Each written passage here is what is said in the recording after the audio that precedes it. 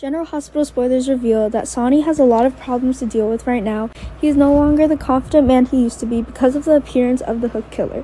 Sonny may not be afraid of the open hostility of his enemies, but he is most afraid of those hiding in the shadows. Moreover, this guy did not directly attack him and harm the people around him.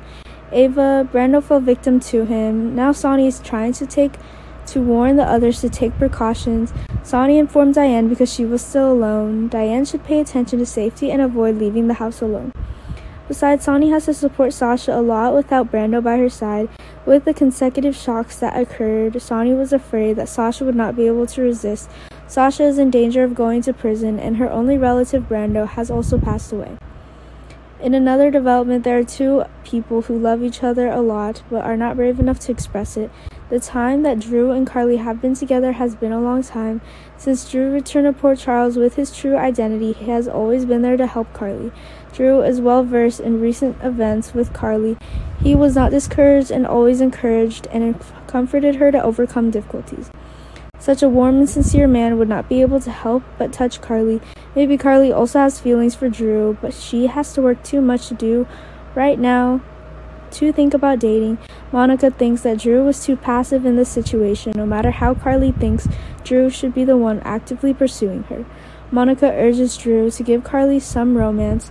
Drew loves Carly so boldly do good things for Carly to increase the love between the two. There were certain problems in the past that made it impossible for Liz to deal with to deal with. Liz's mental health is unstable, and if this continues, her mental illness will be incurable. Liz still has a lot of work to do in the future. She shouldn't ruin everything because of the psychological obstacles. Before Liz was born with delusions that acted and thought very strangely. Although the situation has not lessened, if not addressed to the root, it is still a threat. Perhaps Liz forgot something very important in her memory. It is the horrible truth that Liz has convinced herself to forget. Now Kevin will force Liz to remember everything and face it. Liz is hypno- hypnotized to go back to the old days. Liz has described a woman who f- appears in the memory and through the sketch. Finn and Kevin recognize the woman as Reiko, Finn's late ex wife. What happened between these two?